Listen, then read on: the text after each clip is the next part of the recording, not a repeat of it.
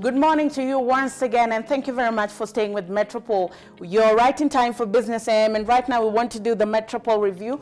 But I'm not alone in studio. Joining me, Ian Morathi, an investment analyst at Cytonn. Thank you very much for making time. Thank you. We are great that you're here. We start off with our first story, which is Treasury gets 125 billion loan to refinance debt. Now, just to put that story into perspective, the Treasury has taken a new $1.25 billion medium-term syndicated loan between January and March to retire maturing short-term foreign loans in a move to ease debt repayment pressure on the exchequer.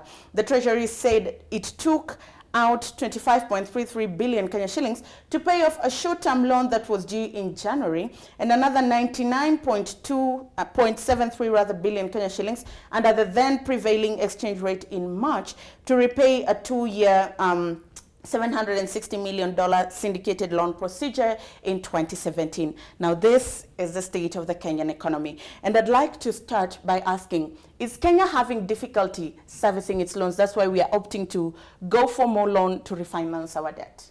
Uh, you'd say so, mm -hmm. uh, simply because, for instance, if you look at KRA's uh, collection targets, they, they missed their collection targets.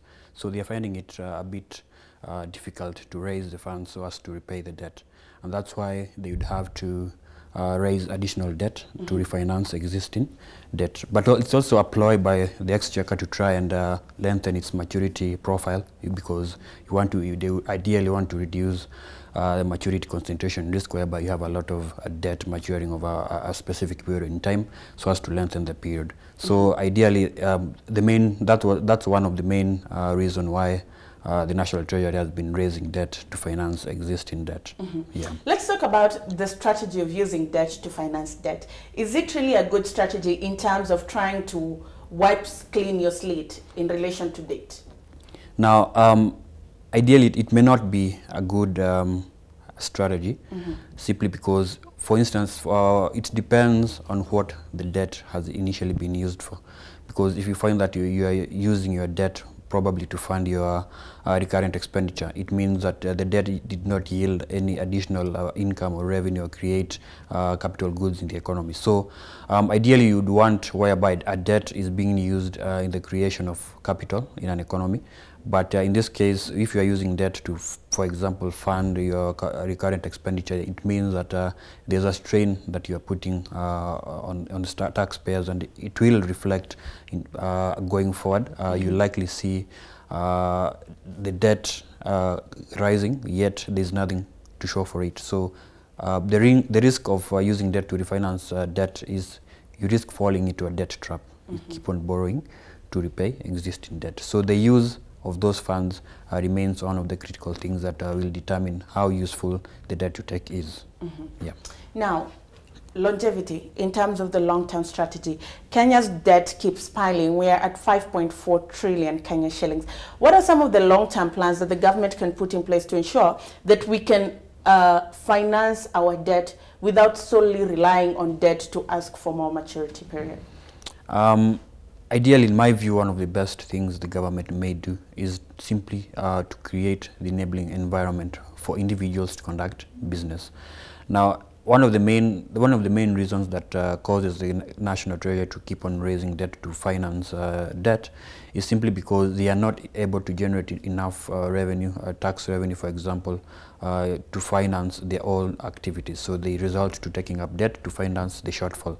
So ideally, the, the national treasury or the government at large may be better placed if um, they would uh, use the debt to create, possibly create an enabling environment in the economy, mm -hmm. uh, making business uh, conducive to conduct within the economy. When you have more businesses uh, doing well, generating revenues, profitability, it's likely to yield higher revenue for the national treasury mm -hmm. and may reduce the budget shortfall. So creating that enabling environment is likely uh, to bring in some income. They may result to other measures such as uh, increasing the tax bracket, uh, inclu they including tried that. yeah they tried that the informal sector that is. But if you look at currently where we stand is that the informal sector, not all of it uh, is within the taxable profile. So they would want ideally to bring in uh, additional people into the tax bracket and reduce the strain on the individuals within the bracket. So Uh, that's one of the main reasons, one of the main things, or rather the government or National Treasury may opt to do. Mm uh, and then the other thing is that uh, we cannot run away from accountability because accountability also remains an important aspect that determines whether we are getting uh, the value of our money or whether we are getting the short end of the stick. So we may, we may want to have accountability whereby you can say these funds uh, have been used for these purposes and no uh, corrupt activities and whatsoever have occurred. Mm -hmm. So that, those are some of the main uh, things I would my view, the government may need. Accountability goes hand in hand with asset reclamation. Where are we at in this country? Because a lot of money is always stolen, and we see some people are taken to court and convicted uh, as purported. But in relation to the money they stole and reclaiming it back so that it can be injected into the economy, mm. so that we don't end up with bad debt, how are we doing and how should it be done? Uh, the we've, we've seen uh, the push by government, uh, some of government agencies in terms of trying to enforce strict regulations, uh, conducting prosecutions and whatnot. But uh, something that Kenyans uh, have always uh, uh, been concerned about is that the prosecutions don't really tend to go all the way because you tend to find that most of these culprits who conduct these activities, they do not come to book. Most of them do not come to book and the amounts are yet to be recovered to date from mm -hmm. Kenyans' points of view. So um, the government may, I think uh, it's, a, it's a thorny issue that uh, the country as a whole may need to deal with uh, because um, if you, and one of the things that uh, is being uh, proposed is that we need to strengthen our institutions and ensure that uh, they are independent in their, in their conduct, so to ensure that they can be able to run the full uh, end or that the full journey of uh, trying to reclaim, uh, for example, the stolen assets and maybe prosecute uh, the culprits involved. Mm -hmm. yeah. Well, there you have it. Um, the government needs to streamline the business sector so that there's ease of doing business and also fiscal accountability. Mm -hmm. Well, there you have it. One of the ways to ensure that we finance our debt the right way and don't end up in debt. Let's take a look at our second story. KRA seizes 438 cars as higher duty hits dealers. Now, about 438 vehicles are stuck at the port of Mombasa as their importers struggle to offset high duty charges imposed by the Kenya Revenue Authority. Last month, the taxman reviewed its valuation schedule. The current retail selling price of many models of vehicles rise sharply, causing dealers to abandon their cars at the ports. Now, dealers claim Due to high levy, it's almost impossible to sell cars and get any profit out of the business. Instead, they are running losses. Now, Ian, mm. is it time that we review the levy on imported cars for the sake of those who are employed in this sector? Uh, the automobile sector, uh, it has been fraught by several challenges, especially last year. Mm -hmm. And uh, those challenges have spilled over into 2019, to this year. And uh, what you tend to find is that from industry reports you, we see is that uh, the car sales have gone down into this year and they are for instance, in the luxury uh, segment, the sales have uh, declined sharply in 2019 and uh, towards the end of 2018. And uh, given that uh, most of the dealers in this uh, sector are, they rely on, they have thin margins on their, on their businesses, and also they rely on volume sales. So you tend to find that if, for instance, the high, the le le levy charged increases, then it ideally reduces their margins. And then when you compound that with the fact that there are few sales happening, then dealers are, will automatically be uh, in a tight spot because they may not be able to generate enough uh, uh, profitability, for instance, to maybe increase their stock or maybe mm -hmm. pay for stock that has already been ordered for. Mm -hmm. So it's an industry that uh, it's one of the most, uh, it's, a, it's a highly taxed industry when you compare with other countries in terms of the levies charged and uh, I think there may need to be a review. But it, it, in, in fact, uh, it's part of government policy, in fact, to try and uh, tax this in terms of probably uh, probably um, the emissions, things like uh, the emissions and all that. So they try and use uh, those as well in terms of their policy direction. But I think going forward if things do not improve, um, I think dealers may continue be in hard times. Yeah. yeah. Now, um, there's the national automotive policy that mm. has been fronted, and uh, automotive dealers denied that policy and uh, they revoked it and declared it null and void. However, one can't help but wonder, is this a move by the government to choke car importation so as to inject life in local manufacturing and um, auto assembly of motor vehicle? We, we know the president is big on this in his big four agenda in the manufacturing facet, and he's been talking about this a lot lately. So is this a move to clearly wipe off importation and build the local industry? Yeah, it's a, it's, it's a move to try and promote local industries by charging higher levies on imported uh, automobiles. However, it, for Kenyans, uh, if you look at the large proportion of automobiles produced, they are mainly the commercial ones. Mm -hmm. So if uh, you high, charge high levies on the commercial uh, vehicles, for instance, you're in essence trying to promote uh, the local uh, assembly lines and uh, local producers.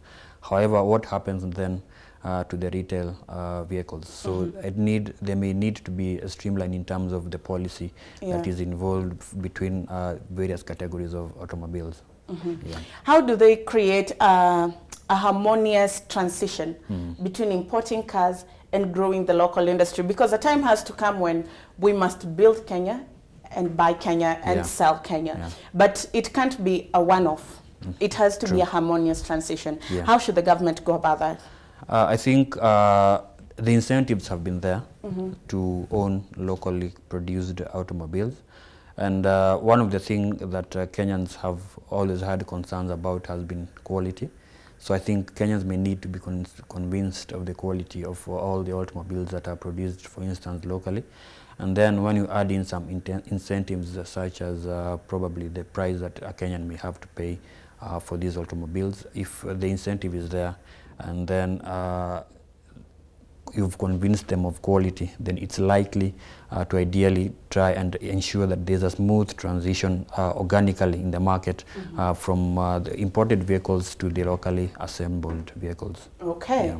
there you have it. Now let's move on to our third story of the day, and that's why Kenyans and Africans do not feel economic growth.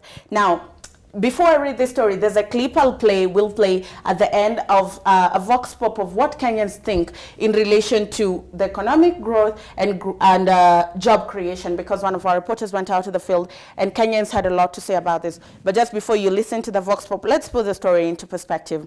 Now, last year, Kenya's economy grew by 6.0% and East Africa grew by 6.1% and Africa 3.2%. Now, according to the Kenya National Bureau of Statistics, Statistics report, the cre the, they created over 840,000 jobs, that's the government, yet Kenyans on the ground do not feel the impact of this development. Now, as I had mentioned earlier, one of our reporters went out to the field and spoke to people and um, this is what they had to say in relation to economic growth and job creation. Audi, do you have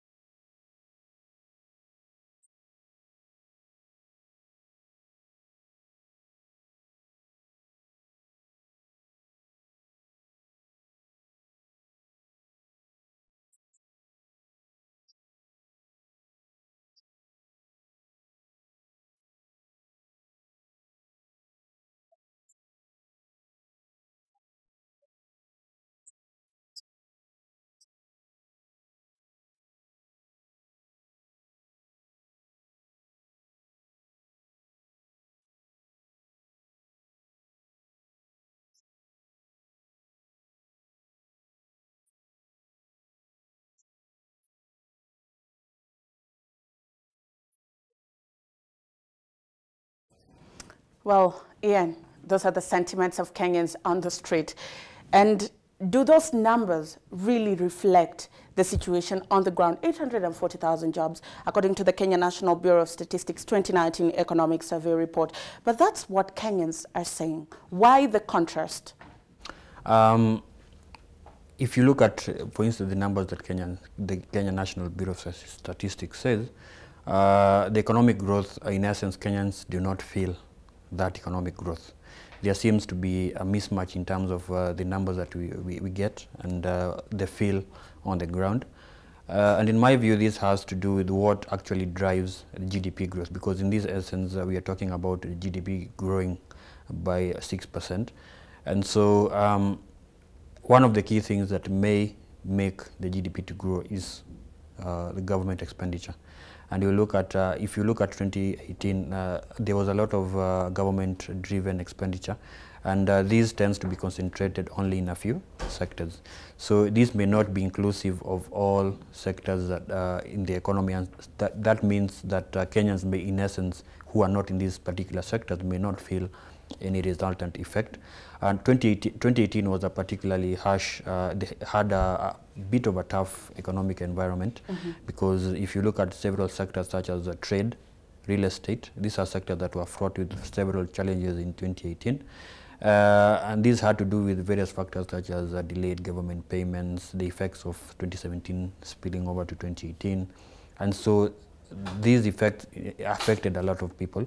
Uh, and so the essence did, did not feel any improvement and uh, only Kenyans in a few sectors such as agriculture, tourism, they mm -hmm. did see marked changes from uh, 2017 mm -hmm. and so that remains one of the key things that uh, brings about that mismatch in terms of uh, how to feel the economic growth. Mm -hmm. yeah. Now in relation to job creation, 840,000 jobs, if the government created those jobs, mm. is no mean fit but it's not enough. So just hypothetically, how many jobs does the government need to create on a yearly basis to feed demand and in what sectors so that uh, people can feel the effect of economic growth?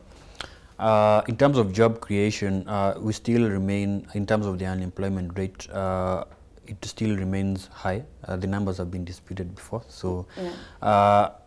Uh, there are several sectors that I, I would ideally be uh, very suitable in terms of uh, trying to ease that unemployment burden on the economy. Mm -hmm. And uh, one of the key things is uh, we need to promote uh, in terms of in, in, creating a conducive environment for the operations of the micro, small and medium enterprises. And what you tend to find is that 80% of the private sector are these MSMEs. And so, um, and most of them are in agribusiness because agriculture again contributes 20% uh, of our GDP. Uh, so a focus on what uh, the economy ideally is good at I think would be, be best place because it would not require any significant deployment in terms of capital to try and create employment. Mm -hmm. However, there is also the general feel that uh, we need to diversify our economy we cannot focus on agriculture alone. So we also need to promote other sectors of the economy. We also have sectors such as manufacturing. By creating a conducive uh, manufacturing environment, mm -hmm. this would enable the, the segment to ideally attract more employment. Uh, in terms of uh, probably the, if you look at the number of graduates who get out of school every year, number from tertiary colleges, all that. So you need to also create and expand other sectors of the economy, such mm -hmm. as manufacturing, real estate and ICT. Mm -hmm. So we may ride on our strength in those in some of those key segments to try and create employment, uh, especially for the young population. Okay. Yeah. Diversification of the Kenyan economy to expand our revenue basket. That's one of the ways to go in relation to um, job creation in the Kenyan market. Abracadabra, there you have it. Nairobi building project falls by 12% now. Nairobi private construction last year registered a 12.8% fall with 210 billion projects approved compared to 240.8 billion worth of projects in 2017.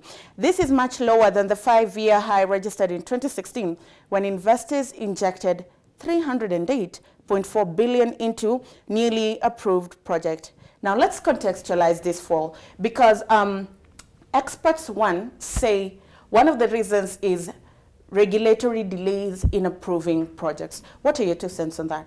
Uh, it's actually true uh, in terms of uh, getting approvals for construction, uh, in, especially in Nairobi, uh, it takes a bit of time, and so developers have been uh, have been at a fix because it it, uh, it will you know because they're also funding uh, their uh, developments probably using debt. So if, when it becomes uh, it becomes a long a long period for you to obtain your approvals and whatnot, it tends to increase your finance costs. So it may not be ideally investment uh, uh, conducive for you as an investor or a as a developer to come up with uh, a building given uh, due to those delays. Now another thing has also been the fact that uh, if you look at real estate as a sector as a whole in 2018, it was a particularly tough year because, for instance, if you look at banks, uh, some of the large uh, listed banks in Kenya, they touted real estate as one of the key sectors that uh, made them e- experience high levels of non-performing loans. So banks have tended to shun away, or rather reduce the exposure into real estate to try and simply curb those, curb those, uh, those uh, non-performing loans from real estate. Uh, and these, so the lack of funding, uh, ready funding for real, real estate uh, ensured that developers ideally did not uh, become as active as much in, in real estate in 2018. So there's also the issue of uh, oversupply in particularly particular segments of real estate. And so given that, that environment, there was a slow uptake in 2018. So for most developers or investors, they, they opted not to get into the sector and wait, adopted a, probably a wait and see uh, attitude to see where the sector would be in 2019 before making any, any moves in the sector. Let's also talk about diminishing access to credit from local finances, and this has become uh, this has been related to the interest rate capping bill. And CS Rotich, during his speech at the release of the 2019 Economic Survey report, said it's something that has to be looked into and reviewed. What's your take?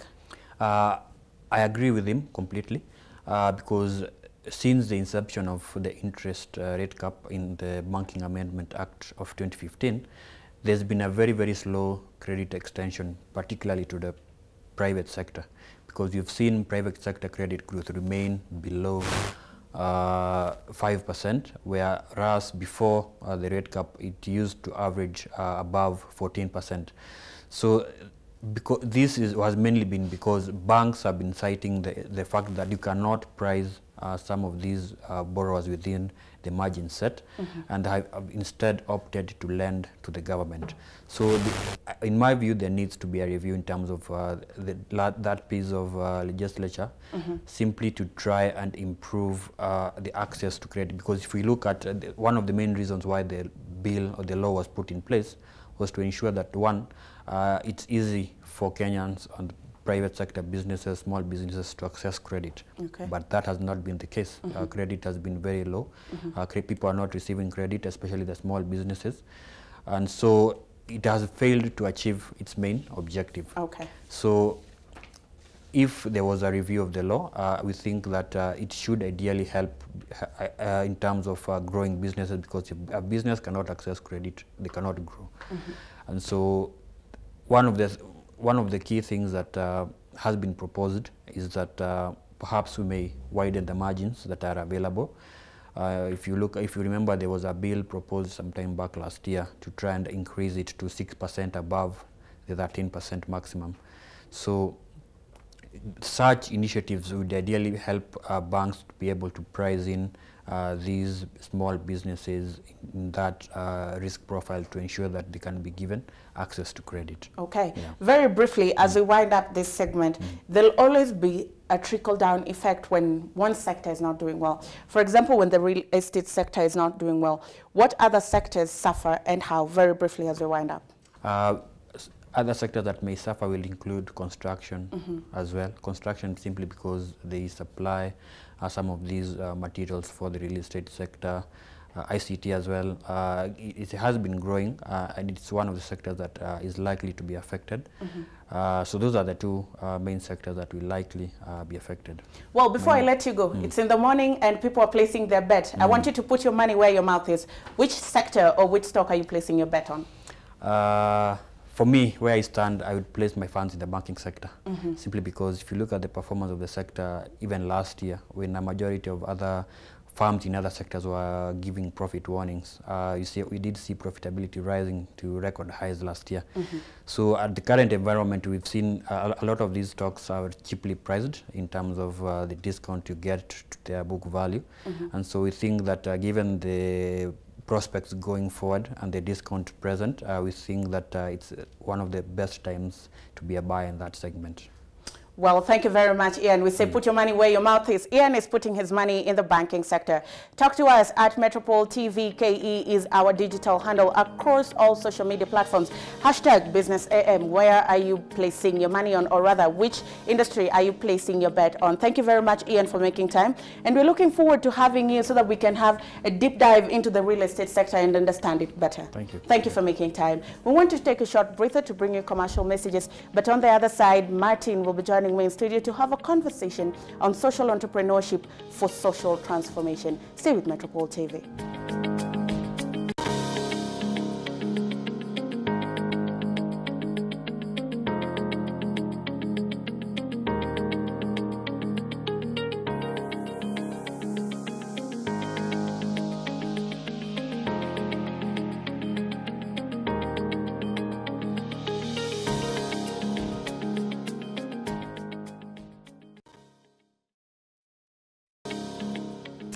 Welcome back to Business AM with me, Indira Ganga, the last segment of the show, and we are having a sit-down conversation with Martin Irungu, who's the CEO of Grassroots Rather Entrepreneurship Summit, and he's big on social entrepreneurship, and he says it's the key to social transformation. Now, before we start the conversation, just to lay into context what we want to talk about, only 10 out of 100 ideas survive to implementation stage, okay, and only three out of five SMEs make it beyond their third birthday. Now, beyond their third birthday, only one makes it to their fifth birthday. And we want to have a conversation around this and see how we can harness the power of social enterprises and small and medium enterprises so that they can grow, create jobs, and help transform the Kenyan economy. Thank you very much, Irungu, for making time. Thank you so much. Just to start the conversation, from where you sit, inside out perspective, what is the state of social entrepreneurship in the country? Uh, thank you so much for having me in the show. Uh, first of all, is to say uh, social entrepreneurship is on the rise. It is on demand. Uh, of course, it's, uh, it's one of the things that is really changing in the lives of, of people in communities. Uh, the stakeholders, the government, the players, the enablers, the, the incubators are also on the rise to support uh, social entrepreneurship. And of course, as a global priority in terms of the sustainable development goals, then we have to move in that direction. Mm -hmm. yeah. What are some of the needs in the society that are pushing towards social entrepreneurship? Is there a need for social entrepreneurship? And maybe what problem is social entrepreneurship providing solutions to? Uh, first of all, I would, I would like to bring uh, to the attention of the viewer of what is this difference between the conventional business and the social enterprise. Mm -hmm. A social enterprise uh, really uh, puts uh, the people or the communities at the heart of the design program. Mm -hmm. Whereas we, when you're designing for a mainstream business, we are focusing on profits, margins, and growth. Uh, not to say that a social entrepreneur will not focus on profits, but they will have the people at the heart, the bigger goal of a social enterprise is social change. Mm -hmm. And coming to your question, when you are talking about uh, what the social enterprises are doing, they are really now uh, transforming the challenges that are facing communities into an enterprise. Mm -hmm. And basically that's now in terms of health, agriculture, education, energy, in all the fields uh, of sustainable development. Mm -hmm. We have social entrepreneurs focusing on growing social enterprises that are increasing or improving the lives of people in those sectors. Mm -hmm. So you're saying the need of the society is triggering the rise of social entrepreneurship to provide solutions to the challenges that normal people face on a normal basis. Exactly. Like now we are talking about, uh, we have had a drought season when we have had so many people dying. Mm -hmm. uh, now we are now dealing with the floods, so it's a social challenge. So now the social entrepreneurs are coming in to ask themselves, like, we have had drought. How do we improve resilience of communities uh, to deal with the hunger, for example? So they are talking about enhancing food security at household level uh, through social businesses. That is now where they're talking about enhancing uh, the, uh, the production, uh, to talk about value addition, talk about preventive, uh, preventive against diseases that are affecting the crops that are resilient to drought. So social entrepreneurs come in handy to deal with the social challenges that we face day to day.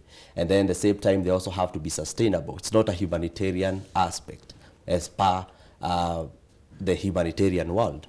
The social entrepreneurs come in to, to think of ideas, creative and innovative ideas that are sustainable.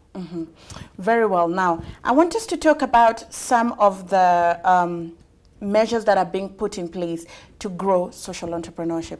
Because we know that most businesses do not survive beyond their third birthday and it's a miracle if they go beyond their fifth birthday.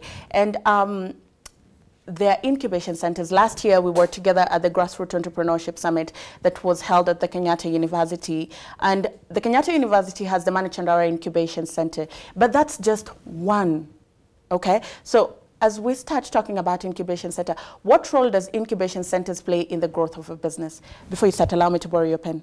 Thank you. Great, okay? So uh, let me uh, come into how the ecosystem look like.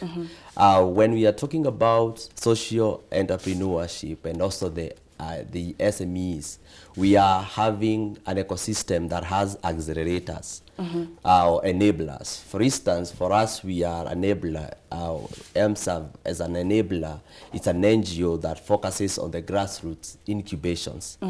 We in the Nairobi itself, we have over 50 hubs or innovation hubs, hubs that are existing to support young and upcoming entrepreneurs.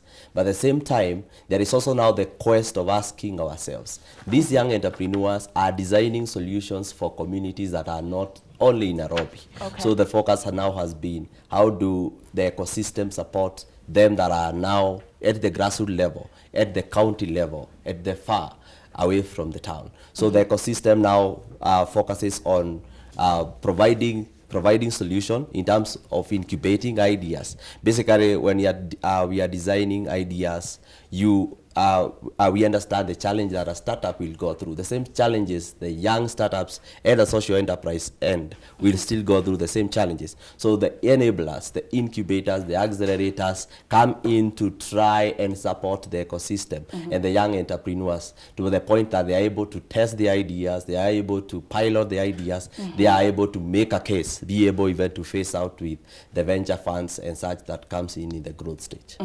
So, how do we increase incubation hubs and how do we equip them so that they're better placed to help SMEs, particularly in the social entrepreneurship sector, to grow? uh, in the, on this note, we, we, we have to really demystify what is the purpose of an accelerator, what is the purpose of an incubator. And in this note, what challenge we have faced, for instance, an, uh, as an enabler in the, in the space, we have space, like this hall, but the utilization uh, by the young entrepreneurs is not, uh, is not, is not on, on the trend. So the, the, ask, the question we ask ourselves, what is the problem that is, uh, that is making these young people not able even to utilize the, uh, the available resources? And on that note, you'll find whatever incubation centers that we have set in place, they have quite a bit of demands. Like, have you proven your case? And for me, and my understanding is, I don't have to prove the case. I need to, the incubator to support me to prove the case. So I think it is the high time, and that is the conversation we have been pulling together, even doing the grassroots entrepreneurship summit, trying to push now the voice of the young entrepreneur to the table, and now let, letting the enablers listen to them. And that's now the, some of the cries that you, you listen and, uh, and find out that it's the high time now we also think about. I don't have to come all the way from Garissa, for example. I am designing a solution for Garissa County. And then I travel all the way to Nairobi to devise the solution. The counties, the, the enablers need to have a way of, of having a devolved function around uh, incubation and acceleration processes to be able to support young entrepreneurs from where they are. That is why we have upcoming colleges in every different region. We have to take advantage of the systems just to be able to have more and more of such enabling environment within the sub-regions that we have in the country. funding. One of the biggest challenges of entrepreneurs across the board. But in relation to social entrepreneurship, because you're trying to find solutions, funding is very critical. How do we go about it in relation to sourcing for more funds and making funds available to people in the social entrepreneurship space and giving them time? Because projects, when they're not based on profit, do not pick up immediately. And maybe they might not even be of profit immediately. Uh, let me first of all put this into perspective. Just to say, a social enterprise um, really suffers on the fact that there is no, like say the financial institutions, like the banks, that are out there looking for social enterprises to give them funding based on the fact that their biggest interest is social impact and profit comes second. Uh, that a little bit brings a bit of a comparison looking at what happens now in the mainstream business where you have to prove the, the point that you're able to make profits and the margins and then you get some, some amount. Uh, that puts them in an awkward situation. And now within that uh, ecosystem, that is now where we have the venture funding coming in. But at the same time, it's a challenge for an upcoming social entrepreneur who needs to prove the case. And now that calls for alternative funding. What is the alternative funding in the space? That is now what we are championing for. Because we have we are asking ourselves for you to get funding for anyone to support your idea. They really need to see it happening. They really need to see that impact. They really want to see the sustainability model. Like you have to prove the case. At the same time, we also need to raise the leaders who are supporting this social businesses to be able to speak about the case because the co-proponent of a business or a social enterprise has a, a like three facets we have to look at the enterprise itself you cannot separate the, the social enterprise with the social entrepreneur at the same time we also have to look at the community or the persons the focus the customer in this in this context how do these three facets interact? How do we strengthen the model to be able to be beyond reproach? And then that we also now call um, even the mainstream funding to come in to support such such startups. But then do we have such patient funding? For example, you need to have a fund for three years before you are able to have a profit margin. So then that brings a bit of question, which are the other funding? And of course, we have the development organizations uh, that now have been coming in, breaking out, breaking down their funding, uh, their funding to be able to get to the grassroots, to be able to support the very early stage young social enterprises. Nice. So they have funding if we can get alternative means of funding that are more patient with social entrepreneurs. What other ways can we use to unlock the potential of social entrepreneurship and churn new paths for them, particularly when they're in their early stage of startups? Uh, basically, we also need to focus on growing the leader in the social enterprise. I think uh, what we have seen even within the ecosystem, the, uh, the startups that have grown very fast have grown out of the leadership of the founders and the skill composition. Like some of the biggest challenges we find we face around social entrepreneurship is the mix of the skills. For us, what we have always done in the um, young entrepreneurs that we support, we always ask you what uh, skills do you have to drive the social enterprise? What is the team composition, for instance? I've seen, for, for instance, a young entrepreneur who is interested in a digital uh, startup, but then they don't have the skill. So they want somebody to support them to develop this digital system. But then you ask them, how do you sustain this? Who? Would you team up? Would you look for a co-founder, for example, to be able to support your startup? So there are other factors that enablers can be doing in terms of giving them a vision, understanding the market. When we are talking about the market, it still applies even within the ecosystem of social entrepreneurship. Because we are focusing on, does this make sense to the community? Does it make sense at all? What about the market analysis? what bringing the users. This is what we call the human-centered design thinking. Like, how do you bring the users at the center of your development? How do you get feedback? Is the is the innovation, is the startup that you are running appropriate at this stage? So there are other details uh, enablers can be doing in terms of supporting the young entrepreneurs, giving them a strategy plan. How do they work on their strategy? How do they work on their clientele? How do they work on the communities? How do they place the people at the center of their design thinking? At the same time, how do they sharpen? How do they hone their skills around the social enterprise that they are driving? Mm-hmm. How do they compose the team if they miss the, the skill? Those are some of the details that we work around, and that is now some of the things that enable us within the ecosystem would be doing to support the enterprise. Now, a young social entrepreneur might be watching, and maybe their business is not doing really well. There might be a mistake they're making somewhere. So, just to contextualize, what are some of the common mistakes that social entrepreneurs make in their journey? Yeah, thank you so much. I think I have mentioned a number of them. And f- the biggest mistake, according to me, uh, is their market orientation, their market uh, analysis, their target. Sometimes even the timing. There's something that is interesting. For instance, just to give a, a very uh, good example, we had the digital cards that were introduced uh, by the government. And it looks an amazing startup. A very nice uh, social enterprise because they are really solving a big problem of corruption. They were dealing uh, with efficiency and speed. But to me, the market was not ready for the startup. So, and still applies to the young startups who are in the market, in the communities, driving social change because social entrepreneurs are really passionate about what they do and they believe in what they have to transform. But then, do they have the people? Again, the human-centered approach.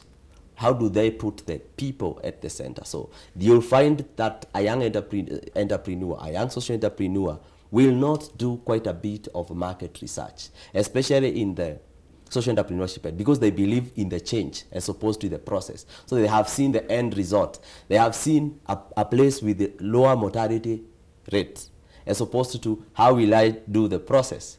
So the social entrepreneur looks at the change and then forgets of the process. How do you put the people who you are designing the solution for at the center of your process? So that is one of the biggest mistake. I've mentioned something to do with the composition, the skills. Yeah, the skill set. No, the skill set. It's not about the money. It's not about the capital because you'll find them, they'll tell you, I just don't have money to do the thing. But then you ask them, some of the resources that you need is just a skill to develop the tech innovation that you are doing. How do you do your team composition? So those are some of the things that you'll find. They don't have even a strategy. So a young entrepreneur out there, you have to design a strategy. Like, what do I want to achieve in the next two years? What do I want to achieve in the next five years? So I need to see what is your strategy plan? What is the starting point? You know, and a social entrepreneur starts with empathizing with the community, which is the human-centered uh, uh, design uh, approach, where you empathize with the communities. You are going to pilot or test within a specific period of time.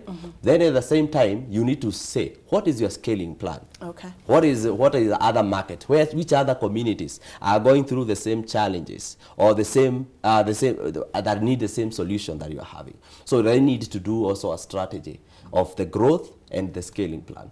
So those are some of the quick mistakes that young entrepreneurs will make, especially in the social business aspect. Okay. Now, social entrepreneurship is a good thing from how you put it because it solves people's problems. But I want you to talk to us about the tangible results from where you sit that you've seen social entrepreneurship bring on the table and the kind of impact it has had on the society. Do you know of such cases that you could tell the viewer?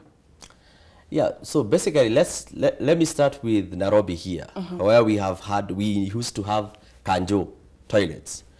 It was very hard for you to, to, to go to a washroom within Nairobi. But then what happened? A young social entrepreneur looked at the situation, felt the situation is bad. We have the resource, we have the space, we have the toilets, but they are not usable. So what did the social entrepreneur do? he went and did a bargain and asked, would I transform the toilets to usable? I'll make an M-Pesa there, I will do some other revenue channels, and I will charge the person maybe five shillings. And then the users were happy because it comes at a cost, but it is efficient. Mm -hmm. So it transformed the whole the whole situation around Nairobi. Nowadays, you are not you don't worry when you're walking around Nairobi. So that's uh, just a quick example, like for the ones who are in Nairobi. Look at the health, for example. We have young people who are transforming the health sector through uh, reaching out to communities through the digital device, like through education and health.